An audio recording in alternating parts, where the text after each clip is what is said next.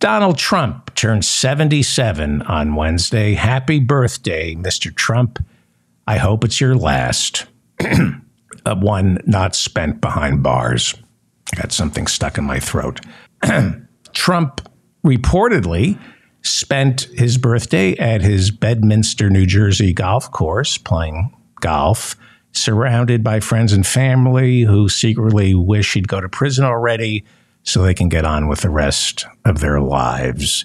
There are reports that since his arraignment on Tuesday, Donald Trump has raised an additional $2 million from his supporters. One of Donald Trump's biggest supporters is Sarah Palin, who was on Newsmax because Fox doesn't want her anymore. And she was asked on Wednesday whether or not MAGA Trump supporters were part of some cult. I was with the Trump motorcade yesterday, and I would say that the people at Versailles at the Cuban restaurant, I wouldn't call them cult members, would you?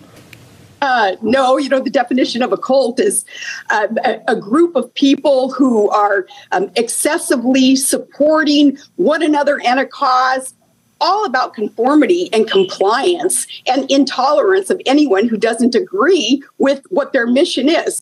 Right. Of course. Of course. There, there's one word that best describes a Trump supporter it's tolerance.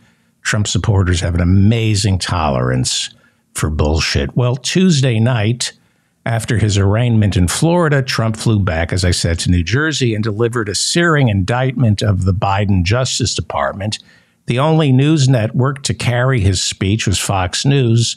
And at one point, Fox News ran a split screen of Trump and Biden speaking at the same time with a lower third that read wannabe dictator speaks at the White House after having his political rival arrested. This was at 8:59 p.m. Eastern, Tuesday night on Fox News, prime time. Wannabe dictator, that would be Joe Biden, speaks at the White House after having his political rival arrested.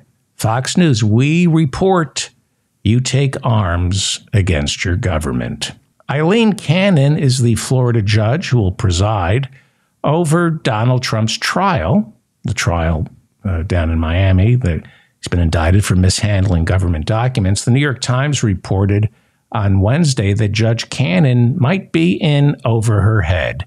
Age 42, Cannon, a Trump appointee, has only been sitting on the bench since November of 2020. This is a lifetime appointment for someone who has never worked as a judge before and has had little to no experience presiding over a criminal trial. In fact, the New York Times reports that she has only presided over four trials for a grand total of 14 days. And all four of those trials were not complicated. Judge Cannon, if you remember early on in this case, attempted to short circuit the FBI's search of Mar a Lago by suggesting that Donald Trump had special protections as a former president. An appeals court later overruled her decision. Yesterday, I reported on the mayor of Florida, Francis Suarez. He's the Republican who is thinking of running for his party's presidential nomination.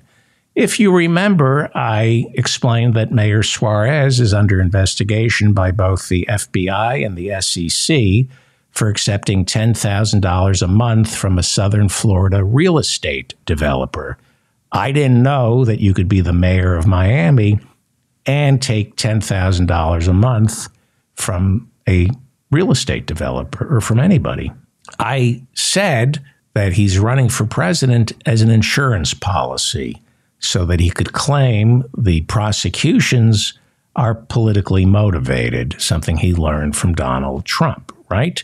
If the FBI and the SEC is investigating you, run for president. Well, he must be guilty because on Wednesday, the mayor of Florida, Mayor Suarez, made it official he's running for president for his get out of jail free card.